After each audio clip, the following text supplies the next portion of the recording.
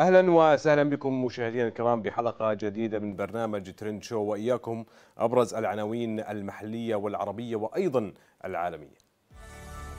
ونبدأ معكم أولى أخبارنا لهذا المساء حيث زار جلالة الملك عبد الله الثاني القائد الأعلى للقوات المسلحة الأردنية برفقة ولي العهد الأمير الحسين بن عبد الله الثاني يوم أمس الأحد القيادة العامة للقوات المسلحة الأردنية الجيش العربي حيث اطلع جلالته على التحديثات في التدريب والتأهيل والخطط المستقبلية وأكد التزام القوات المسلحة بتزويدها بأحدث الأسلحة والتكنولوجيا واستمع جلالة الملك إلى إيجاز حول الخطط العملياتية واللوجستية وجهود إيصال المساعدات الإنسانية إلى غزة وتعزيز المنظومة الصحية وعبر عن ثقته بقدرة القوات المسلحة على حماية الوطن بمهنية واحترافية. وننتقل إلى خبرنا التالي. حيث هنأ سمو ولي العهد بإدراج موقع أم الجمال كموقع سابع للمملكة الأردنية الهاشمية على لائحة التراث العالمي. بجانب البتراء وقصر عمرة وأم الرصاص ووادي رم والمختص والسلط. وذلك خلال الاجتماع الستة وأربعين للجنة التراث العالمي في الهند. ونشر الأمير الحسين عبر إنستغرام أم الجمال الموقع الأردني السابع على لائحة التراث العالمي لليونسكو. مبارك للأردن. وأيضا مشاهدينا الكرام في خبرنا التالي وكان وزير السياحة والآثار قد تحدث يوم أمس الأحد في مؤتمر صحفي عن إدراج أم الجمال على لائحة التراث العالمي لليونسكو وقال إن إدراج موقع أم الجمال على لوائح اليونسكو للتراث العالمي سببه السمعة الطيبة للأردن والقيادة الهاشمية وأضاف اليوم عندما نتحدث عن إدراج موقع على لوائح التراث العالمي يعني ذلك انعكاس العالمية على هذا الموقع ويعني ذلك رفع هذا الموقع إلى مستوى العالمية. وعندما نتحدث عن القيمة الاستثنائية العالمية لأي موقع يتم إدراجه على لوائح التراث العالمي نتحدث عن قيمة عالمية تتعدى الحدود الوطنية وهذا ما حدث في أم الجمال وما سبقها من مواقع أدرجت على لوائح التراث العالمي. وننتقل مشاهدينا الكرام إلى خبرنا التالي حيث أعلنت الهيئة المستقلة للانتخاب عن إطلاق رابط جديد على موقعها الإلكتروني لتوعية المترشحين بشروط الترشح والأوراق المطلوبة في الدائرتين العامة والمحلية. يتضمن الرابط معلومات شاملة عن أحكام الدعاية الانتخابية مواقع لجان الانتخاب وأيضا مواقع استقبال طلبات الترشح ودليل الإفصاح عن موارد تمويل الحملة الانتخابية. دعت الهيئة جميع الراغبين في الترشح إلى زيارة الرابط للاستفادة من المعلومات وتجنب الأخطاء عند تقديم طلبات الترشح. وننتقل مشاهدينا الكرام إلى خبرنا. التالي حيث أعلنت إدارة مكافحة المخدرات في مديرية الأمن العام عن إحباط محاولتي تهريب 600 ألف حبة مخدرة والقبض على 12 متورطا. في القضية الأولى ضبطت 400 ألف حبة مخدرة حاول شخصان إدخالها إلى المملكة. وفي الثانية ضبطت 200 ألف حبة مخبأة في مركبة شحن.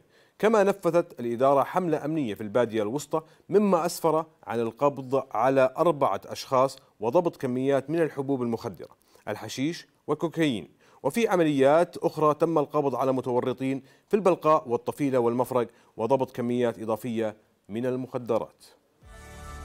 وننتقل مشاهدينا الكرام إلى خبرنا التالي حيث أعلن مهند الخطيب المستشار الإعلامي لوزير التعليم العالي والبحث العلمي أن مجلس التعليم العالي وافق على استحداث عدد من التخصصات والبرامج الدراسية الجديدة على مستوى الدبلوم المتوسط البكالوريوس والدبلوم العالي والماجستير لتلبية حاجة سوق العمل المحلي والإقليمي والدولي وذلك اعتبارا من العام الجامعي 2024 2025 بشرط اعتمادها من هيئة اعتماد مؤسسات التعليم العالي وضمان جودتها.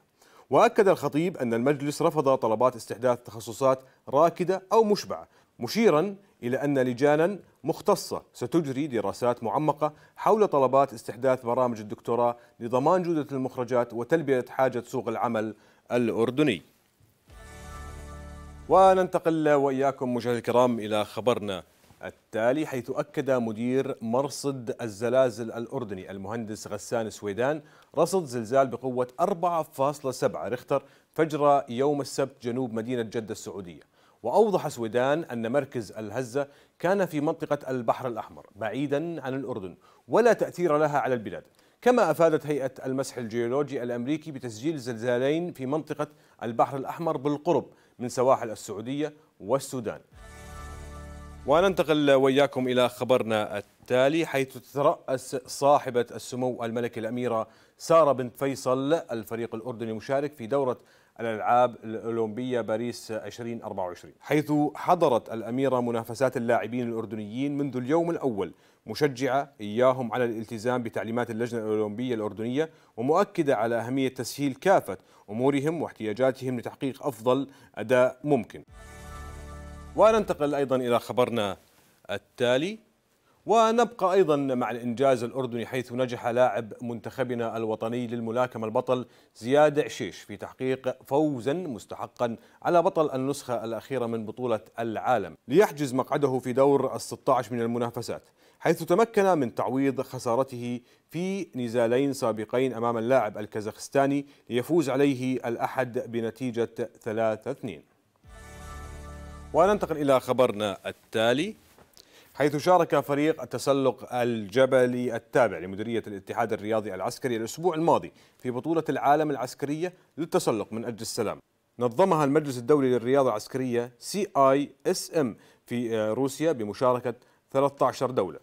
ووصل فريق القوات المسلحة الأردنية لأعلى قمة جبل البروس وهي أعلى قمة في جبال القوقاز الواقعة في روسيا بارتفاع 5416 مترا ويحتل المرتبة العاشرة عالميا. ورفع الفريق المشارك من القوات المسلحة الأردنية الجيش العربي العلم الأردني وصورة جلالة الملك وولي عهده الأمين وجلالة المغفور له الملك الحسين بن طلال من أعلى قمة جبلية في روسيا. وننتقل إلى خبرنا التالي حيث أعلن نادي الرمثة يوم الأحد عن فك عقوبة الحرمان من تسجيل اللاعبين في الفريق الأول لكرة القدم للموسم القادم 2024-2025 وأوضح النادي في بيان مقتضب أن فك العقوبة. جاء بعد تسوية مستحقات مالية لعدد من اللاعبين السابقين الذين تقدموا بشكوى ضد النادي. وننتقل مشاهدينا الكرام إلى خبرنا التالي حيث حقق الفلسطيني بلال محمد فوزا مثيرا. على البريطاني ليون في النزال الرئيسي UFC 304 ليتوج بطلا لوزن الوسط في الفنون القتالية المختلطة. فاز محمد بالنقاط وبإجماع الحكام بعد أداء قوي اعتمد فيه على الضغط المستمر والهجمات الذكية رغم صعوبة الجولة الثانية التي كاد إدواردز ينهيها بالإخضاع.